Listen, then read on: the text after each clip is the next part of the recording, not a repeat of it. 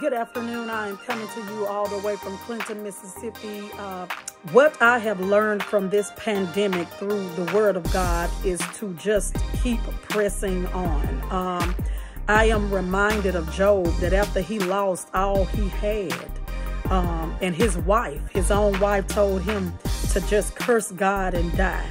And Job told her that she was talking like a foolish woman. So there's so much negativity going on around us um, we are among people who have no hope but we have to remain firm and stand on God's word. So I've learned to keep pressing forward. I've learned that though we are in a pandemic, amen, that it is not what it looks like because that's the kind of God that we serve.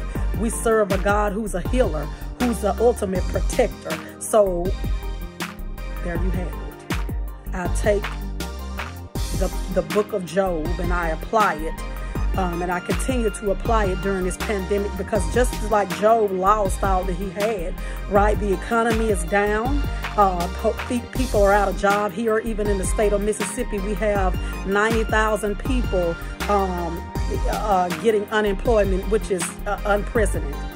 So I have learned to continue to trust God through it all, no matter what. Stand on his word.